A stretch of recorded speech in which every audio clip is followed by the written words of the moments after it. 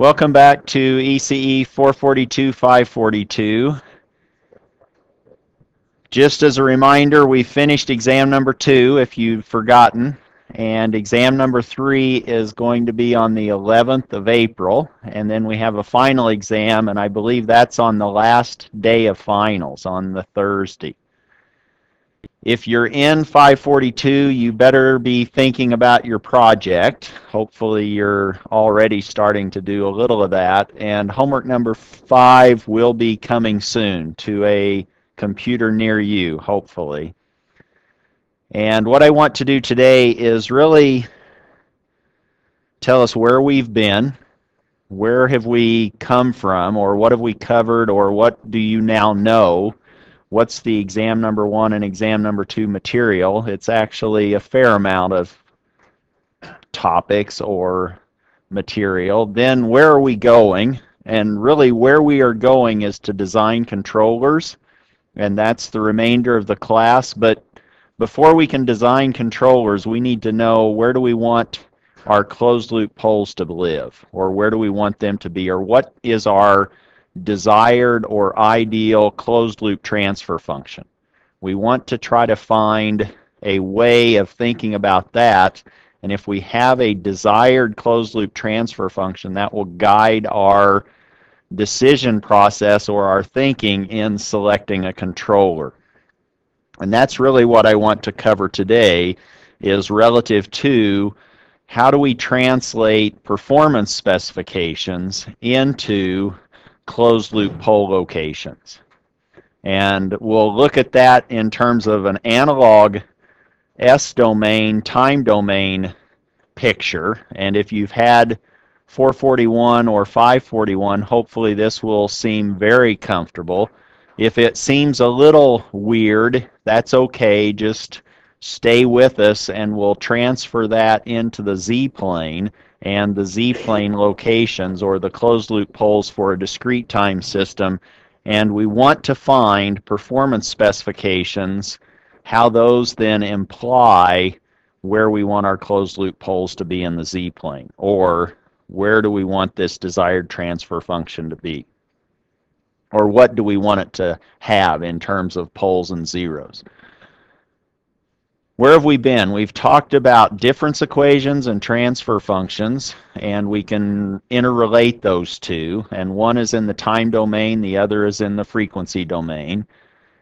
We should be comfortable with solving difference equations. You had another one of those in the last problem of exam number two, if you saw it that way. It came in the form of a block diagram, but essentially we were solving a difference equation or a discrete time system, and we were exciting it, we were kicking it with an exponential input waveform.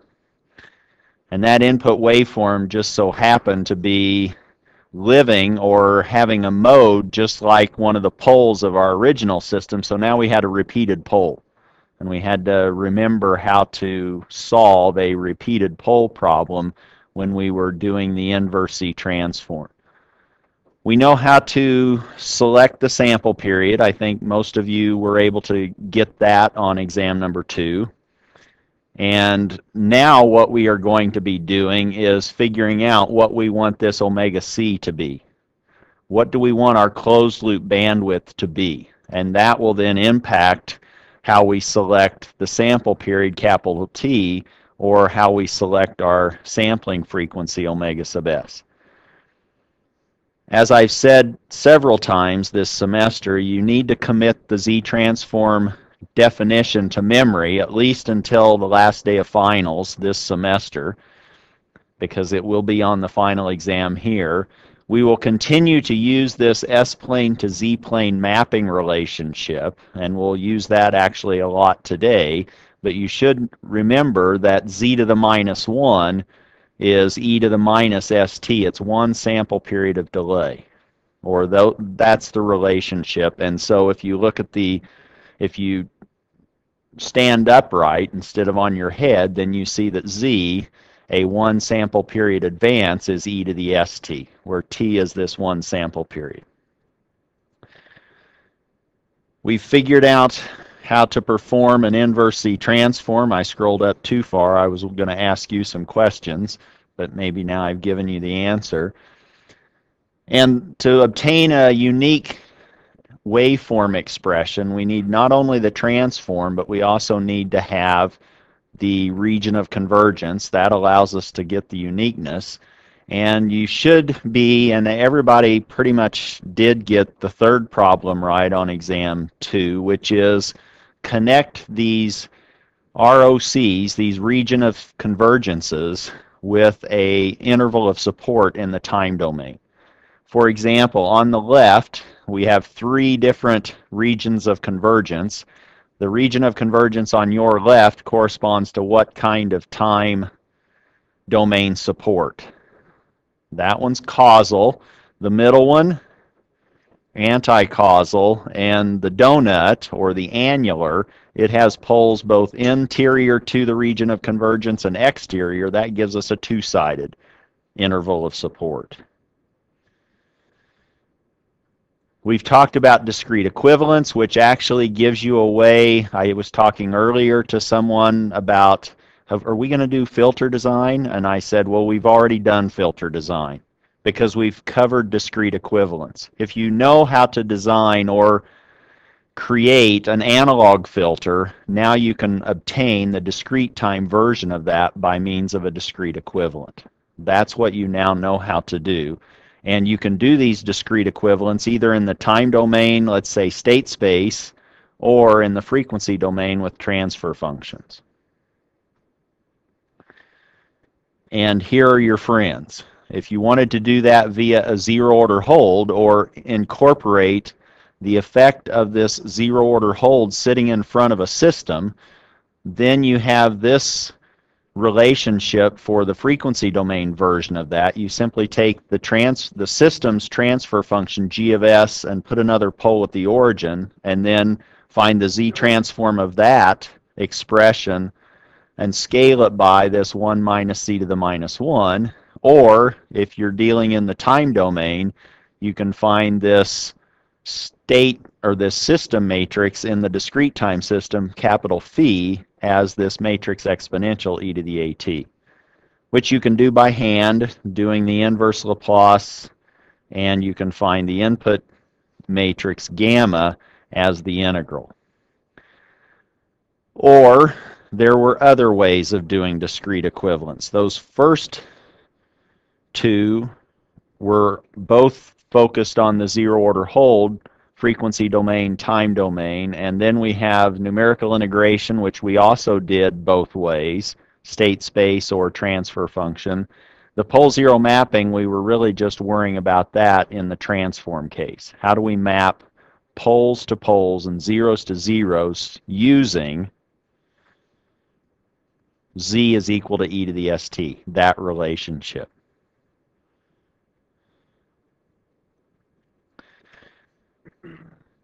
Now, where are we going? And hopefully, it, once I tell you this, you'll know when we get there, right? You won't have to always be asking. Well, maybe you can. That's fine. And maybe I'll say just be patient. But this is where we're going. We have been playing with this G of S to G of Z relationship. Now we want to put it into a closed loop structure, and we really want to design this capital C of Z. That's what we want. We want to build this controller, or I might call it a compensator. We want to design this capital C of Z, and how we design that, in this class, we're going to focus a lot on what do we want our closed loop transfer function to look like? What do we want capital T sub C of Z to look like. And that's really just this ratio of the z transform of the output waveform over the z transform of the input waveform. And inside that capital T sub c of z, we might see this transfer function, capital C of z, appearing. And we want to now maybe back that out and determine what do we want capital C of z to be and we'll have different ways of finding or designing that capital C of Z, which is our controller. If this is the case, what do we still need? We still need to be able to determine what we want T sub C of Z to be. Right now, we've just been giving you a G of S or giving you a system and saying, play with it. Now what you want to do is say, oh, what kind of design specifications do I need or do I want to achieve for my particular system? In your project, maybe you want your system to respond to a particular angular input in a certain amount of time, or you want it to settle in a certain amount of time. And those are performance specifications that will provide insight into what, what we want capital T sub C of Z to be, our desired closed loop. Now let's actually look at what this might look like in an analog setting by means of what I'm calling performance specifications. What kind of performance do we need from a system? And we're going to be focusing mostly on time domain performance. Maybe settling time, maybe percent overshoot, maybe peak time. Those are three that we can kind of cleanly talk about in relationship to a performance measure or performance specification. Let's now see what that looks like for a continuous time system. And typically, when we're talking about performance, we're constraining our thinking to all be around a second order transfer function. And a second order is just a denominator that's second order. If we have a fifth order system, what we are expecting, or what we would probably do, is we would pick the dominant modes to be consistent with what we want it to be, and the other three would be faster than that. And now when I say faster and I start doing hand gestures, I'm hoping you're starting to visualize where those poles might live either in the S-plane or in the Z-plane. But we have different ways of parameterizing these poles. On the far right in this transfer function, capital T of S, what does sigma and omega sub d tell us as far as the locations of our poles in the complex S-plane? Does it give us any clue as to where those will be positioned in our S-plane plot? Could you have already sketched where those poles are in the S-plane without me scrolling? Have you seen a quadratic factored in that form on the right. In the middle, or the leftmost parameterized transfer function, we see an omega sub n, that's the natural frequency. We see a zeta, that's the damping ratio, and we're going to start to define all of those terms. On the far right, we have sigma, which is the amount of damping that's present in that second order system, and omega sub d, different from omega sub n, omega sub d is the damped frequency of oscillation. Here's the answer. Corresponding to that transfer function is this S-domain plot, and it's kind of busy, but I want you to focus in on those two complex conjugate poles. And this particular parameterized form is assuming an underdamped response. What does underdamped mean? I think I had it already maybe explained. underdamped means really that we have complex poles. They're not on the real line.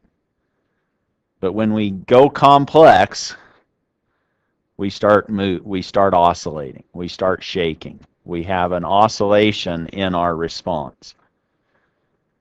So when we say underdamped, then you immediately in the S plane you can and we're assuming these are stable so when they're in the left half plane they have negative real parts you can just assume that you have these two complex conjugate poles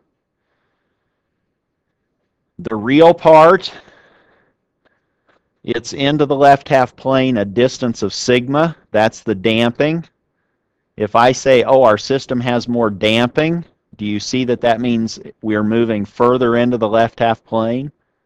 And that will translate into a particular relationship on our performance specifications. The natural frequency is really the distance those poles are from the origin in the S-plane. That's the hypotenuse of a right triangle. So if you're thinking geometrically, you can, whoa, what did I just you can think of this right triangle. It's no more difficult than that. We have a hypotenuse, which is our natural frequency, omega sub n. We have our horizontal distance on the real axis, which is our damping. And we have our vertical distance up into the imaginary direction of our complex plane, and that's the damped frequency of oscillation. That's omega sub d. And if you simply do some trigonometry, you can see how those different parameters are related to one another. This sigma is actually, if I vary that angle theta from 90 degrees, then my zeta value is zero when I have purely imaginary poles. And when I swing, if I increase my damping ratio from zero all the way to one, once it's equal to one and that those poles both become real, then I'm critically damped. They're real poles when zeta is equal to one. And our underdamped relationship is thinking about zeta living between 0 and 1.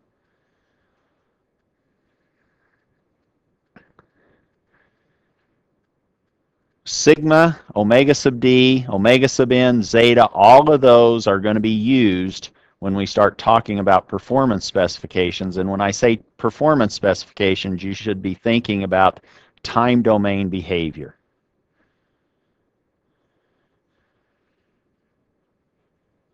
here's our glossary, or here's the terminology that we will be using. Sigma is how far those two poles into the left half plane. That's the sigma. And that's actually equal to zeta times omega sub n.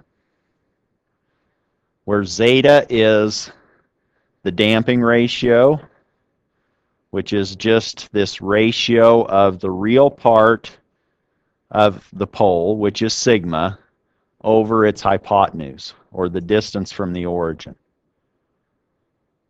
And you can see then that sigma being equal to zeta omega sub n divided by omega sub n is zeta, the damping ratio.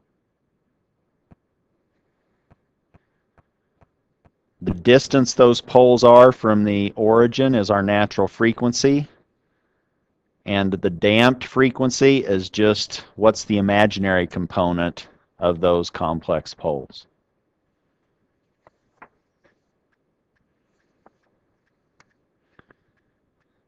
Now what I want to do is relate those frequency domain ideas to a step response. If we now put a constant into that second order system, it will, if it's underdamped, it will overshoot its final value. The final value is y sub fv. That's the green horizontal line. And it will then vibrate around or oscillate around until it gets to where it eventually will go, which is what I'm calling y sub final value. How many have seen a system that moves like this. Unfortunately, if you hit a pothole, what happens? it probably doesn't oscillate very much because you have a fairly stiff, stiff suspension. But that starts to give you a feel for what this, what might be producing something like this. If you push something that has like a spring and a mass, it will start vibrating back and forth and it'll eventually settle down. And that's really what this represents, could be a mass spring damper system, where you excite this mass spring damper system, you tell it to move a certain distance, it actually overshoots where you want it to go, and then it tries to correct, and then it and it moves around, it oscillates around until it settles. I've indicated a 1% tube, which means whatever my final value is, I take 1% of that, and that gives me a tube with which I want my oscillating response to get into and never leave. I think you could see that if I stretched that 1% tube back to the left towards the origin, my response actually does go through that 1% tube, but it doesn't stay there. I'm calling my 1% settling time when my response gets into that 1% tube and doesn't leave. When's the first time that it gets there and never leaves? And that's when I'm going to say I've settled or I reached my settling time. In a sense, that's infinity, my 1% settling time. That's an infinite time horizon, which doesn't have to be very long, which isn't very long in a lot of physical systems. Infinity might be three seconds. That might be your settling time. How long does it take for these oscillations to damp out? Maybe it's 20 milliseconds is an infinite length of time. Here's where that 1% settling time comes from you've probably seen an exponential written as e to the minus t over tau in your circuits classes, where tau is the time constant, e to the minus t over rc, for example, where rc is your time constant.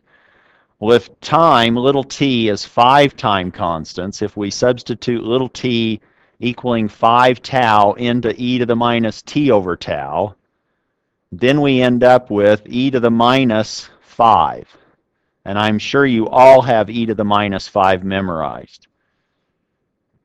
What does e to the minus 5 equal? Somebody want to pull out their calculator? Do you have e to the minus 5? Do you know what that is?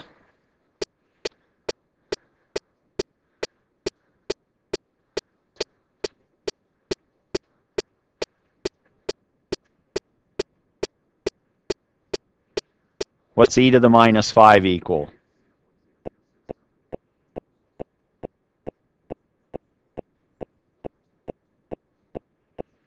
Point zero zero six seven.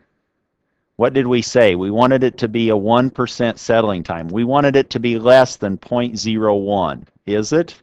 Yes. So that's the approximation that we use. Five time constants is e to the minus 5. That's where that 5 time constants is coming from and that's equal to this ugly 0.0067. Actually, that's very pretty in terms of the concept. That's how we're playing fairly loosely with this definition of 1%. It's not 0.00 or 0.010000. No, it's e to the minus 5t, or e to the minus 5, which is 0.0067. Round it, it's 0.01 but that's an infinite time in terms of where we want to settle. We also, on this diagram, have identified the peak time. How quickly do you reach the peak? That might be an important parameter. That kind of tells you how fast your system is responding. How quickly do you get to that peak? What is little t sub p? And what is the value of your response at that peak time? Well, that's what we'll, we'll call Y max.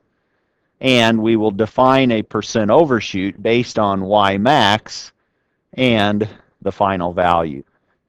Did it go 20% beyond the final value? Did it go 50%? For a 20% overshoot, a 50% overshoot, etc.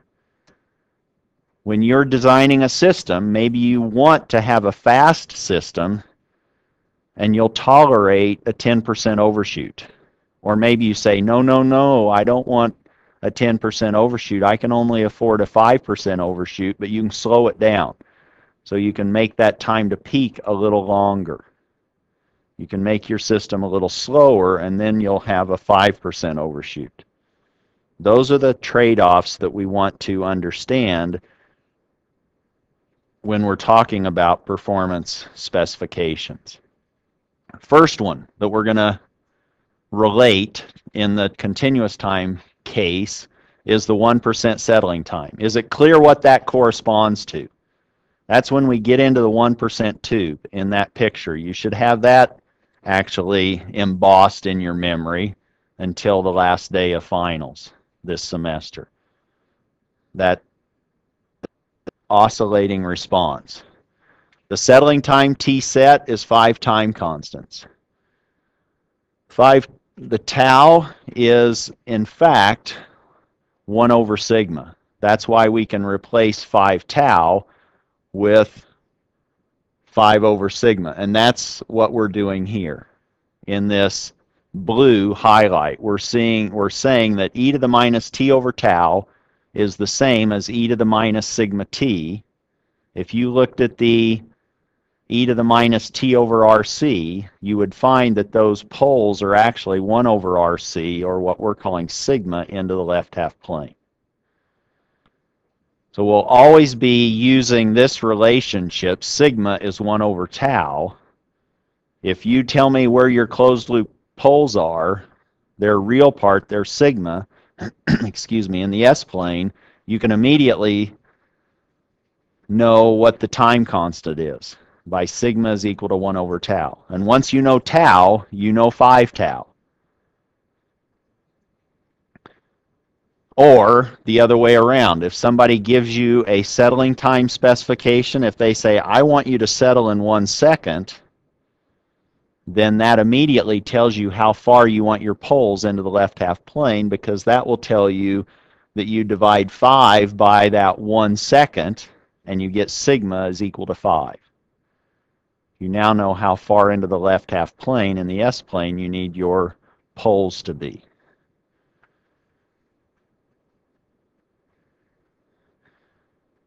quiz. Here's a picture of two different sets of complex poles. I have one set I'll say is being highlighted there. What's the real part associated with those complex poles? And it's right there in front of you sigma 1 is their real part into the left half plane. And then we have a second set there. And we know what their real part is. It's labeled sigma sub 2. Here's the question. Sigma sub 2, the poles associated with sigma sub 2, the blue highlight, produces a blank system response than sigma 1. And in that blank, it's either slower or faster. So I should have had you doing the thumbs, huh? Up for faster and down for slower. Show me your thumbs. Sigma sub 2 produces a up thumb or down thumb, faster or slower system response versus the poles associated with sigma 1. And if you don't know, I guess you can have a horizontal thumb.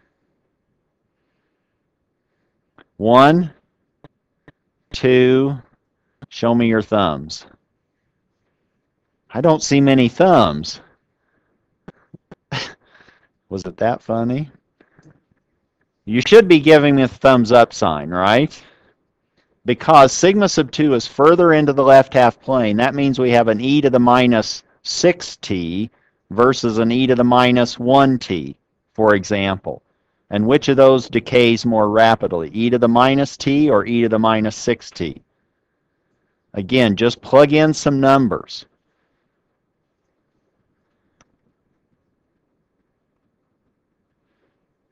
If I gave you these poles on a final exam, and this is in the S-plane, this is for continuous time, you should be able to answer this yes or no or multiple choice. You should be able to say sigma sub 2's system, the system associated with the poles with a real part of sigma sub 2 is faster than the poles at sigma sub 1.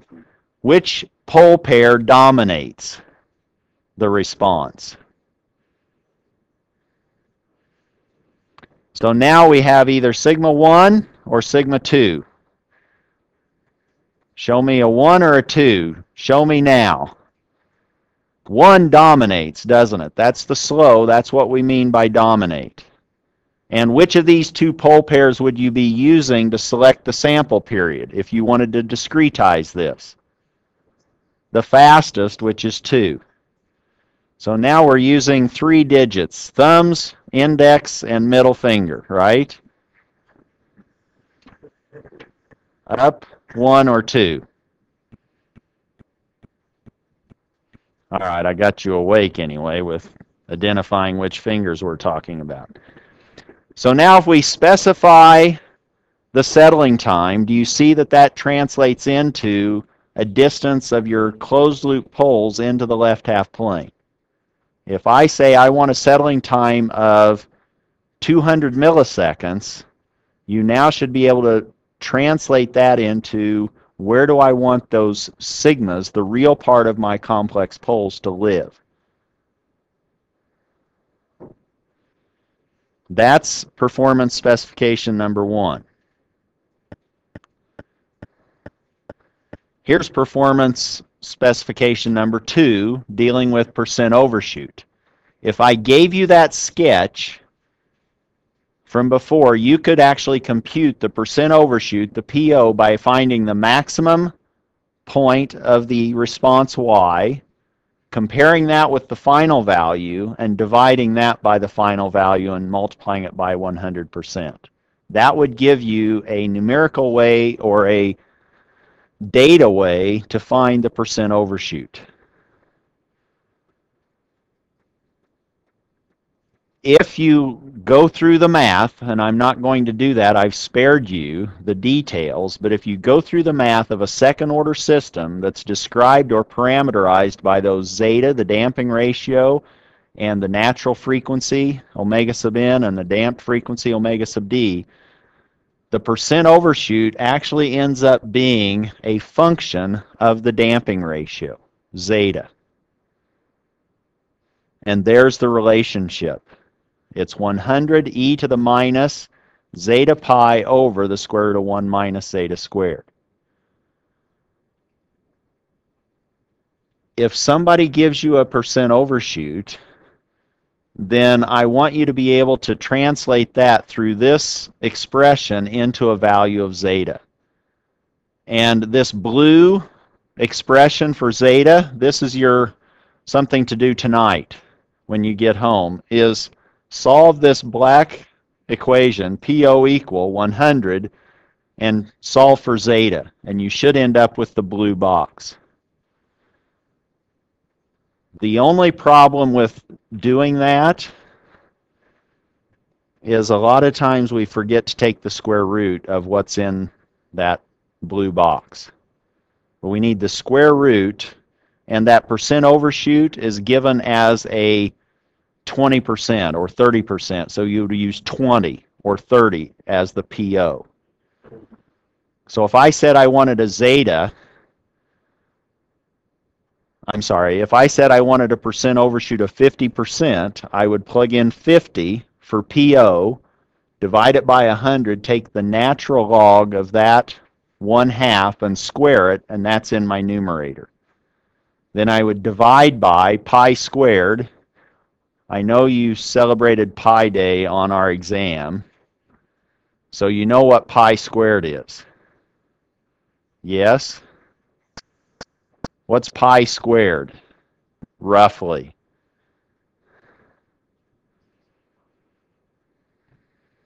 Ten. So if somebody gives you pi squared, just be thinking 10. Downstairs you have 10 plus the natural log of 1 half squared. You do that division, find that ratio, and take the square root, and that will be zeta. If somebody were to plot percent overshoot versus zeta, they would get this nonlinear curve. And you could have this on your crib sheet if you didn't want that formula. You could just have this, and you could just have certain or if I say, oh, give me a percent overshoot of 45%, you would come over here and you would say, oh, here's 45%, and now I know what the zeta value needs to be. It needs to be a little bit bigger than 0.2. If I say 5% overshoot, what's the zeta value? 0.7. And that's a, a sweet, that's the Goldilocks value for zeta, 0.7. Yes.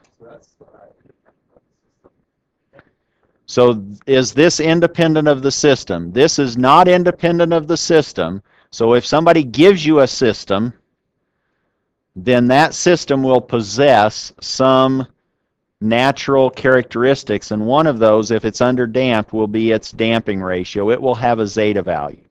What we're talking about now is maybe you're not happy with that zeta value and you want to change it. And you say, oh, in this system, I can tolerate, let's say you had a robot and you're working in tight quarters and now you had a 50% overshoot and the 50% threw you into the wall. So you maybe wouldn't be able to go 50%. Maybe you say, oh, if, as long as I stay 30% overshoot or less, I can move fast enough around.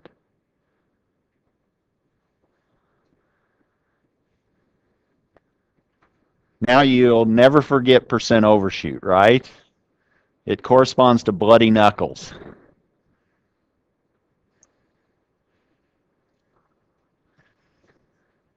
But do you see how now a 10% is roughly 0.6 for zeta? 0.5% uh, is roughly 0.7.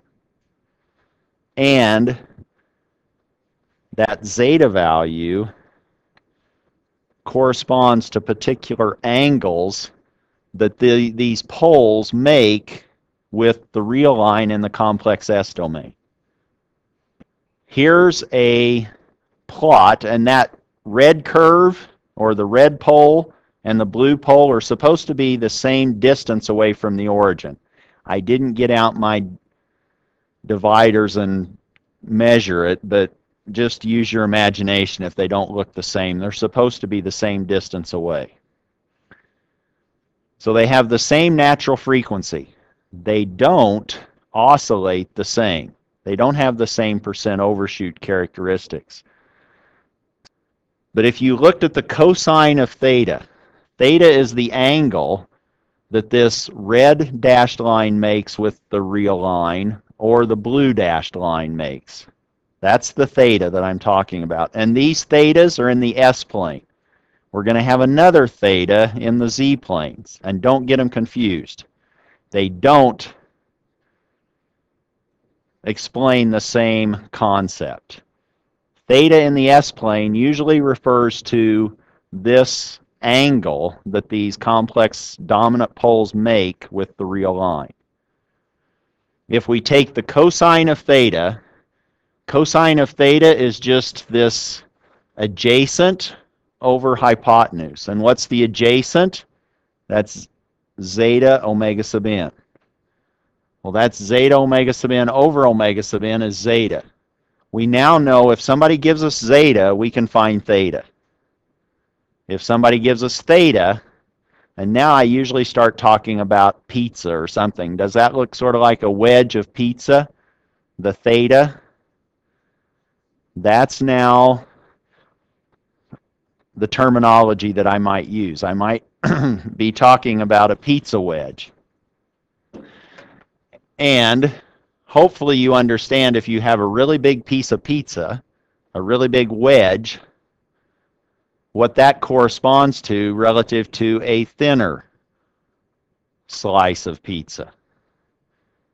Theta 1 is a bigger wedge than theta sub 2 in this case. The damping ratio increases from purely imaginary down from z, zeta equals 0 all the way down to zeta equal 1. As you increase zeta, make your damping ratio closer to 1, excuse me, got all choked up thinking about pizza, you decrease the percent overshoot. The bigger that wedge, the more oscillation you have. The smaller the wedge, the less oscillation you have. I probably just answered a question. But zeta equal to 0.7, if you now did the inverse cosine of 0.7, I hope you would get 45 degrees, roughly. That's the Goldilocks value of zeta in the S-plane, 45 degrees. If somebody just said, give me some poles, you'd say, oh, I can give you a pretty good set here. Just hand them poles that have a zeta value of 0.7 or an angle of 45 degrees. That's a good trade-off between percent overshoot and peak time. And what's the percent overshoot for a zeta value of 0.7? Well, we just have to slide up a little bit and find zeta of 0.7, go up and over, oh, that's a 5% overshoot. That's not much overshoot when our angle is 45. If our angle is 30 degrees, what's going to happen to the overshoot?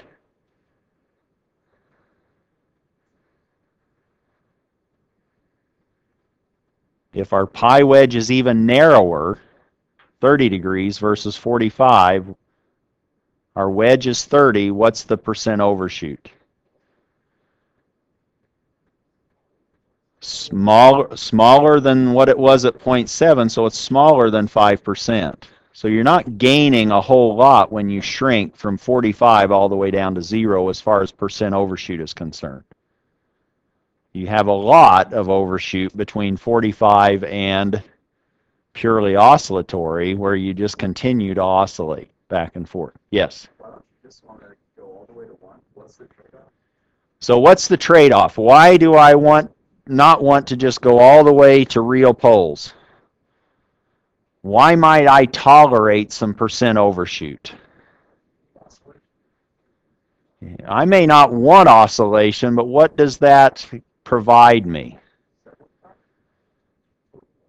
It gives me a quicker time to peak. So my system becomes a little faster for the same natural frequency.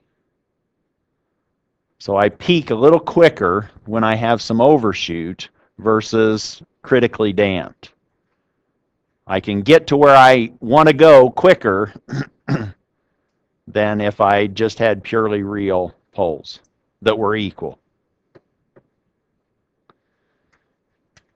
This performance specification then, you specify a percent overshoot. Somebody says, oh, I want 5% overshoot. Oh, I need a zeta of 0.7. I want a 10% overshoot. What's the zeta? 0.6. I want a 50% overshoot. What's the zeta? 0.2. I just had those three points highlighted on that graphic before. Theta sub 2 in this picture produces more or less overshoot than the poles associated with theta 1. If I have poles at theta sub 2 and these have their twins down below, they're coming in conjugate pairs, I have poles that are equiangular from the real line, one at positive theta 2, one at minus theta sub 2. Their overshoot, what did I say? Theta sub 2 produces more or less overshoot than theta sub 1. More is up with the thumb, less is down. theta sub 2, can you see theta sub 2 versus theta 1? Theta sub 2 produces more or less overshoot than theta 1. We ready to show me your thumb? One, two, three.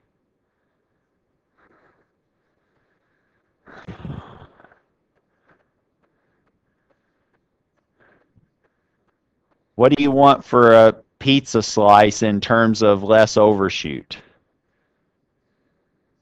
Smaller theta, don't you? So theta sub 2 produces less, thumbs down, than theta 1.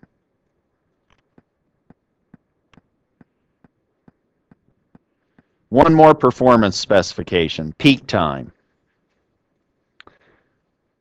We've talked about distance into the left half plane, the real part. We've talked about the angle. Now let's talk about the imaginary piece of those poles, which is the damped frequency omega sub d. The time to peak, if you go through the analysis for this second order system, the time to peak is related to the imaginary component of those two poles by pi over omega sub d. Pi's in a lot of our analysis, isn't it? No wonder I like pi. Well, both pi and pie. I like both.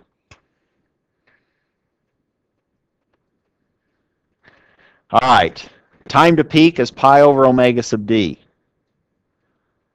So if somebody gives you a time to peak specification or a number, you now know how what the imaginary component of those two complex poles needs to be. It's just pi divided by time to peak. Now I can have two different pairs of complex poles. Two that are at plus and minus j omega sub d1, those are the blue poles. And you notice that they have the same real component, which means, what does that mean? If I excited these two systems, the blue system and the red system, and those are Wildcat, red and blue, never mind. So now I have a red system and a blue system. If I excited those, what's the same? What performance parameter is the same?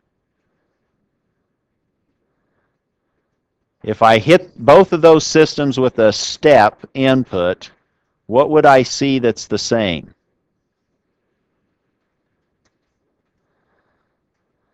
What's the same between the blue pole and the red pole? That's not a tough question to answer. What's the same? Sigma, the real part. If they're the same distance into the left half plane, what's sigma translate into? Settling time. So if I excited both of those systems, they're both going to have the same settling time. The 1% settling time is the same for the red system and the blue system. What's different? Peak time because they have what? Different imaginary components. They also have different angles, don't they? So they also have a different percent overshoot. They share one of the performance specs, but they don't share the other two. We are now going to compare their peak time behavior. If somebody gives you time to peak of, let's say, 50 milliseconds, do you see how that translates into an imaginary component of these pairs of complex poles? You simply take pi and divide by whatever I just said, 50 milliseconds, 0.05. So you multiply 20 times pi. 2 pi is 6.28, so multiply that. 62.8 would be the imaginary component if you wanted a 50 millisecond peak time. See how these numbers just fly? Or come into existence depending on what somebody gives you.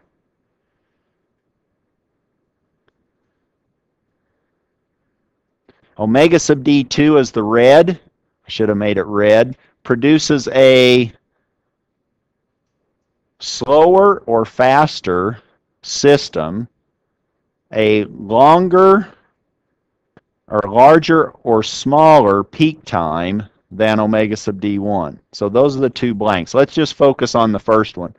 Omega sub d2 produces a faster or slower system than omega sub d1.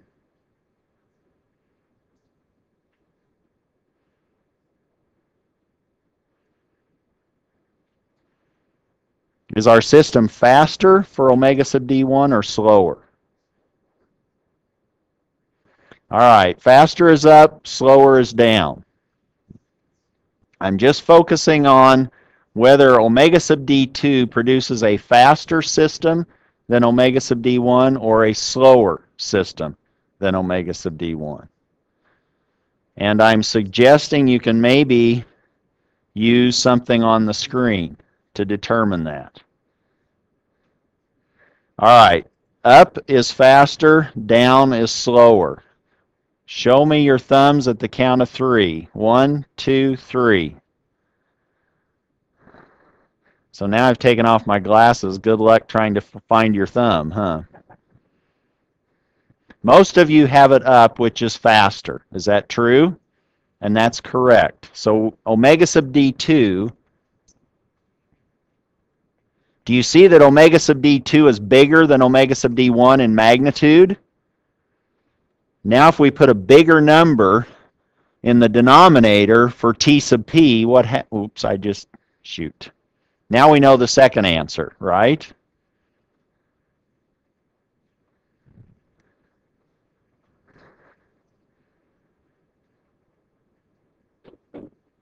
What's the peak time? Smaller or larger? This one is smaller. And that's all based on that relationship. You plug in a bigger omega sub d, it's downstairs, it makes T sub p smaller. In this case, T sub p sub 2 is less than T sub p sub 1. Now what we want to do is translate those into the z-plane pole locations, these performance specifications. Settling time, percent overshoot, and peak time. What do those shapes look like in the z-plane? In the s-plane, what did they look like? What was settling time? Sigma or vertical lines, right? How far over into the left half plane are these vertical lines? We push it further, it's faster. Percent overshoot, when I say percent overshoot, you think pizza, wedge, right? P, percent overshoot pizza. There, that you just have it all now, right? P for percent overshoot and pizza. But if I give you percent overshoot, you're thinking a wedge. You want less overshoot, you want that wedge to be smaller. These are all in the S domain. Time to peak, what do you think? Or what do you see when I say time to peak? Horizontal lines. How far are we away from the real line? What's the imaginary component in the S plane? We want less peak time. What, what do we do with omega sub d, the imaginary component? Bigger or smaller? If we want less peak, we want the omega sub d to be bigger, don't we? All right, so that's what we have for S domain. We have vertical lines, horizontal lines, and wedges. What shapes do we have in the z-plane? I bet you just can't wait, huh? Well, these are going to be a little bit more exciting than vertical, horizontal, and angle. Let's see what we do. If I want to translate these into the z-plane, what do you think I need?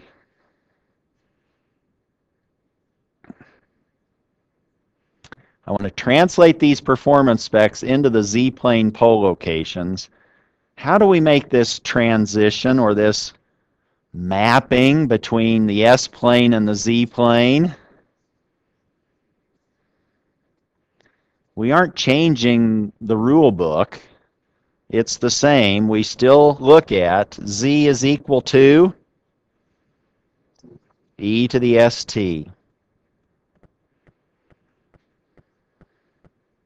All right, so now if somebody says, oh, we have now parameterized in the S-plane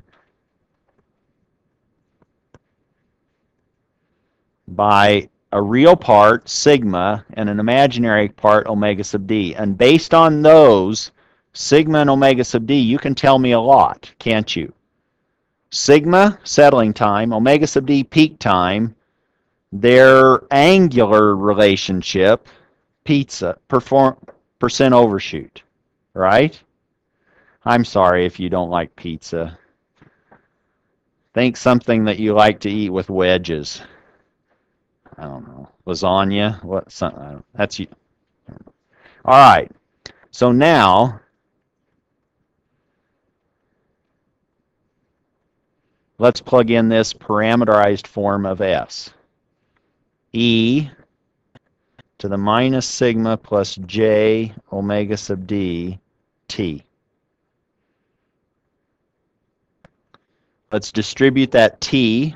Well, let's not. Let's write this in terms of the damping ratio, zeta, and the natural frequency, omega sub n, so that we have all of these parameters that we can think about. Sigma and omega sub d, real part, an imaginary part of our poles in the S-plane.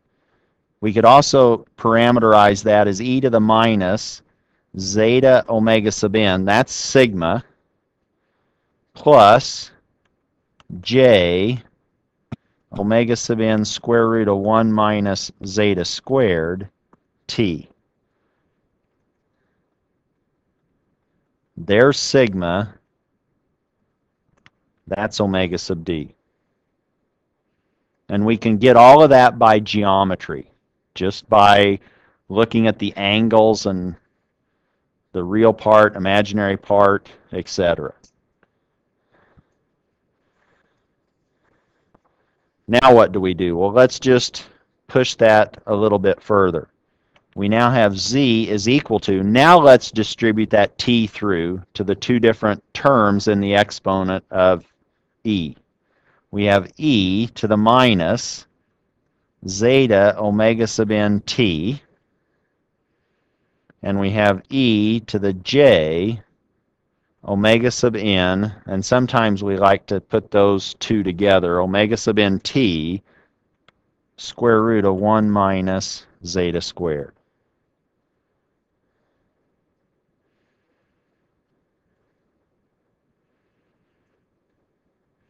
Again, this you might see as sigma and this omega sub n times the square root of 1 minus zeta squared is omega sub d. So you might see this written many different ways.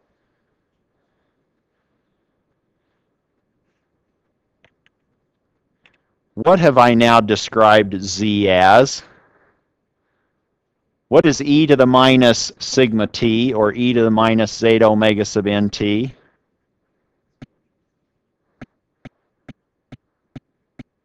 That's just some magnitude, isn't it? That's just a real number. And e to the j omega sub nt square root of 1 minus zeta squared, because it's j, that's an angle. We've now written this really in polar form, magnitude at an angle, the location of z in the complex plane.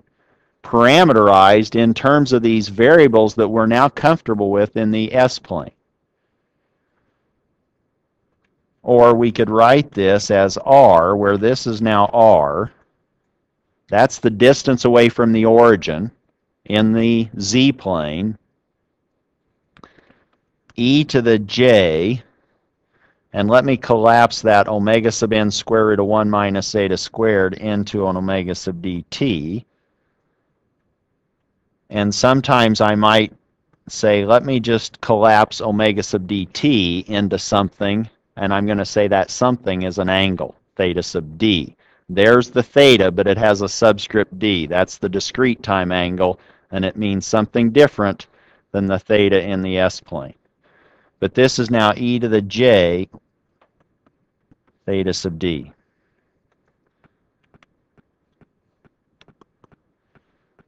Now I'm defining theta sub d to be omega sub dt.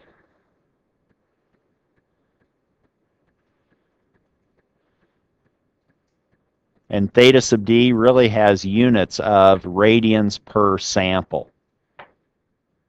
But we'll get into that in a minute. But this is now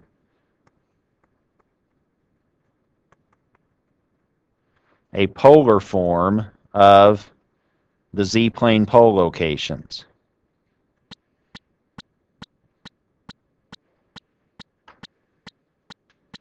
What if I wanted the rectangular form?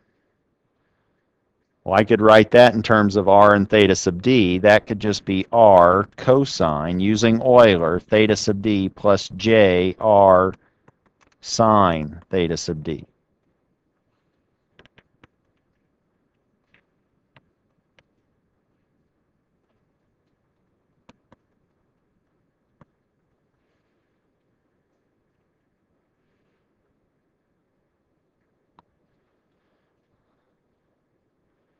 Have you already sketched the z-plane diagram? If my poles are here,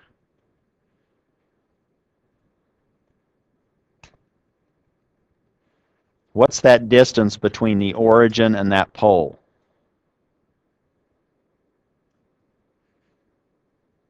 What's the polar form of that set of complex poles. It has a magnitude and an angle.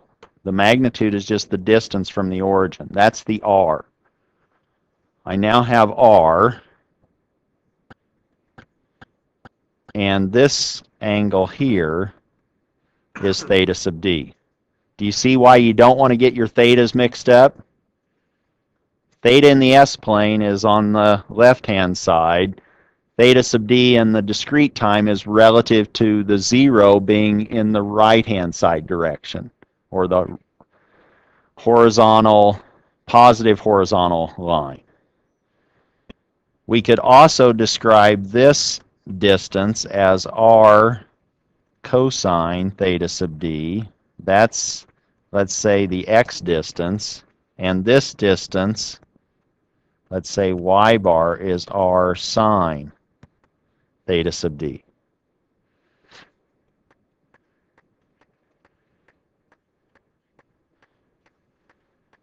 Let's now see some of these settling or some of these performance specifications, what they translate into in terms of shapes in the z-plane. Number one,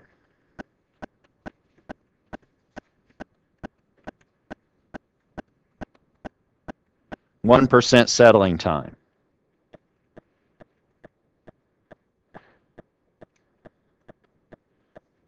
For reference, what influenced settling time in the S-plane? What shape did we think of when we said settling time in the S-plane? We have vertical, we have angle, and we have horizontal. Were we vertical or horizontal? Uh, not what you are right now. I hope you're vertical right now because that's what this is, right? This is vertical. I don't want you horizontal yet. When you get home, you can go horizontal. Not now, right? I know this lecture is challenging that idea. But now we're dealing with vertical. We had either a sigma 1 or a sigma sub 2.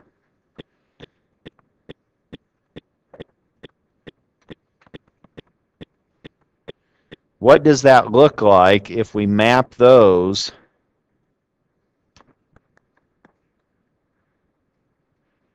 into the z-plane. If I kept sigma sub 1 the same, and I just varied omega along sigma sub 1, what would that map to in the z-plane through this z is equal to e to the st? What would stay the same if I kept sigma 1 the same? Go back here, and now if I keep sigma the same, what is constant in this parameterized form for z? Capital T isn't varying, is it? It's fixed. Sigma, I have e to the minus sigma t. What does that define? What is equal to e to the minus sigma t? r. What does r represent in the z-plane? The distance from the origin. Do you see what geometric shape settling time looks like? That's supposed to be a circle. Now, which is which? Sigma sub 1 is faster or slower than sigma sub 2?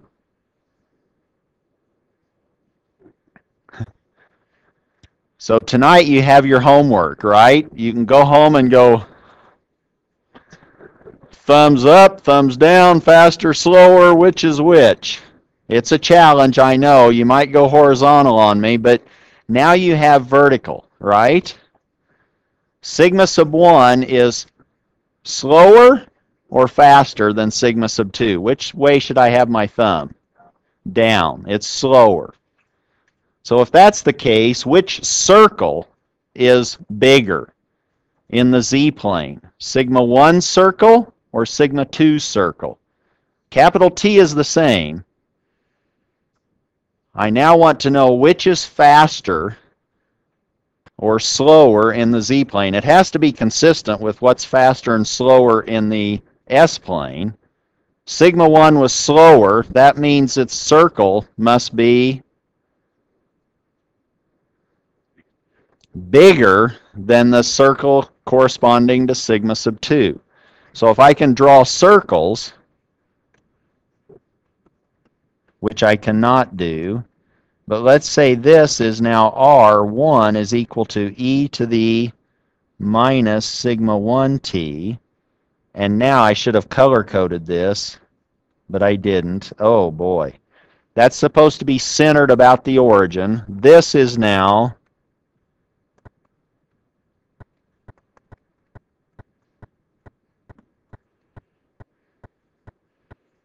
Do you see why those circles look the way they do? R1 is e to the minus sigma 1t. R sub 2 is e to the minus sigma sub 2t. T is the same. What? How are sigmas related? Sigma sub 2 is bigger than sigma 1, so R2 is smaller than R1. So this tells us R2 is less than R1. And what happens if we just keep varying those sigmas? We get concentric circles. We get bullseyes, a bullseye. And where do we want to go if we're thinking bullseye? Probably smaller, which means faster. So the more accurate your shot, the smaller the circle, the faster your system. What happens if I would put a circle corresponding to the imaginary axis? Where would that circle be in the z-plane?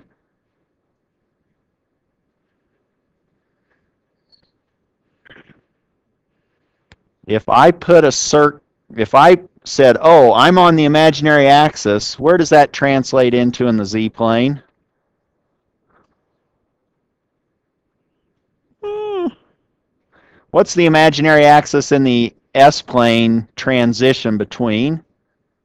If I went from the left half plane into the right half plane, what happened to my system behavior? In the left half plane, I'm stable. In the right half plane, I'm unstable. If we have causal systems, what happens in the z-plane?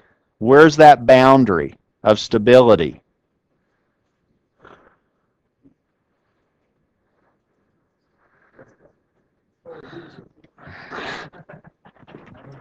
The unit circle, right? 1. R equal 1. What's the sigma on the imaginary axis? 0. What's e to the 0? 1. We're on the unit circle. If we go in the right half plane, we go outside the unit circle. So r sub 2 is, well, here, let me write down what I've been saying. We now have a bullseye. And somebody's hitting the target, aren't they? Which means that these concentric circles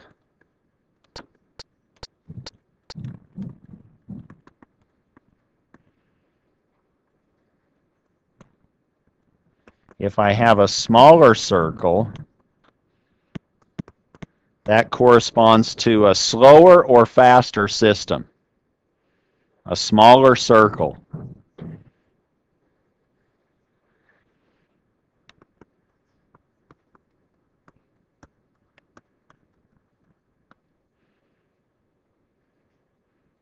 So if I'm looking at R sub 2 and R sub 1, and if R sub 2 is less than R1, then R sub 2 is faster, and R sub 1 is slower. In this particular specification, performance spec, if I specify a settling time, what does that translate into in the z-plane? What geometric parameter? The radius.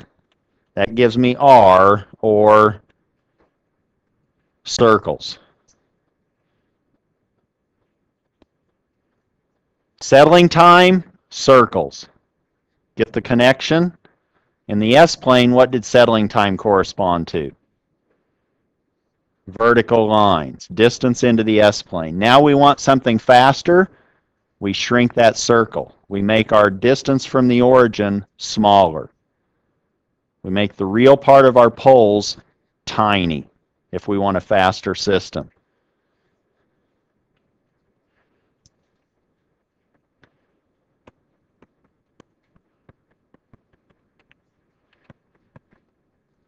Let's see if we can come up with some equations for this.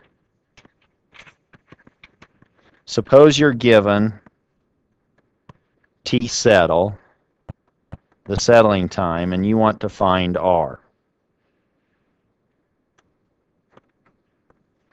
For now, let's say that the settling time has been parameterized in terms of the number of sample periods, N sub S. N sub S is the number of samples to settle. T is the sample period.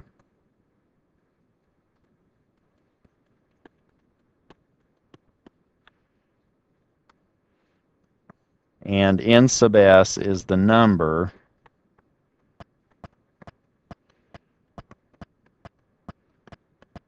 of sample periods. So you could solve for n sub s if you wanted to. n sub s is now t settle over the sample period. And what was the relationship that we have already looked at when we talked about settling time? We said x at sample n sub s was r raised to the n sub s times the initial condition. We've derived that already. We've used that. Or we want that to now be the same as our 1% of where we started. The 1% or the initial condition is the same, so now we have a relationship between R and N sub S.